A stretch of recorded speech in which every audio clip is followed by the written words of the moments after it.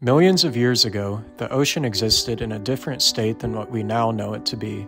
The depths of the ocean were full of life, a melody of colors and shapes that danced far beneath the surface.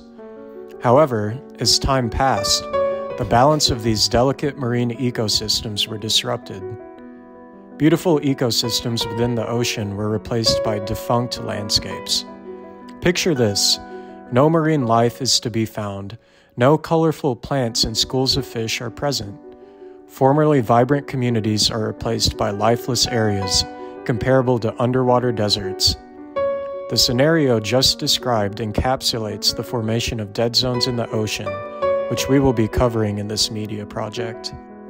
Now that we've seen firsthand what a dead zone looks like, let's dive into what exactly a dead zone is. Dead zones are areas in the ocean with extremely low oxygen levels referred to as hypoxia. These diminished oxygen concentrations are too low to sustain marine life. Fish and other mobile creatures cannot survive as a result. These areas are known as deserts of the sea because any marine life in these zones will either leave or die.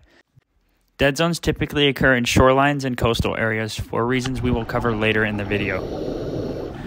As you can see here, we are approaching a dead zone in the following video. If you look straight ahead, there is a spot where there's like no life whatsoever. That is a dead zone. It's mainly just sand, and occasionally you'll see like fish or go by. That's because they're swimming to like the nearby reefs and stuff. But yeah, overall, there's like little to no life. Understanding why dead zones form is crucial to preventing their emergence in the future. Dead zones are primarily the result of excessive nutrient flow into select regions of water. These nutrients, namely nitrogen and phosphorus, come from fertilizers, waste, and surface runoff of rainwater. This influx of nutrients stimulates the growth of algae in a process called eutrophication.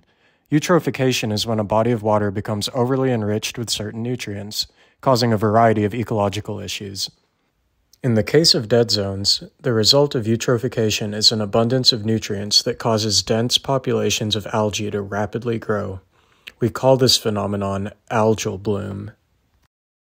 As the algae continues to bloom, the ocean will not have enough nutrients to sustain this growth. There will not be enough space and light to support the photosynthetic requirements of all the algae, causing it to die and sink to the bottom of the ocean floor, while bacteria will decompose the organic matter. This decomposition process consumes oxygen from the bottom layer of the ocean, decreasing the dissolved levels of oxygen in the water.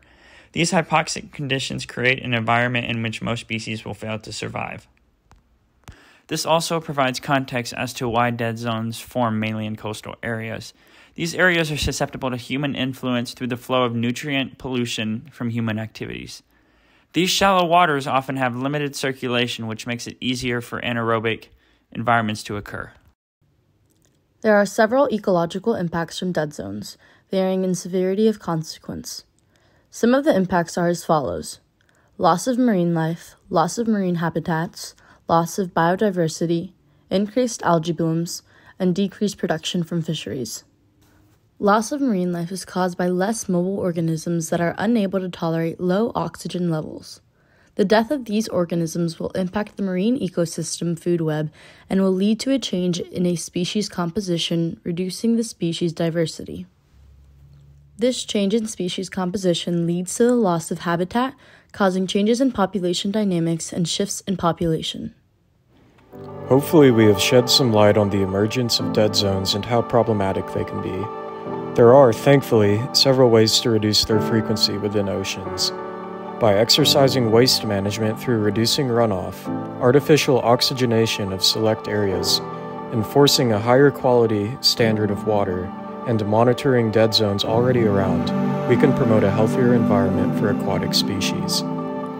Most importantly, spreading awareness can serve as a catalyst for smarter environmental decisions. We hope that our project has helped contribute to this effort.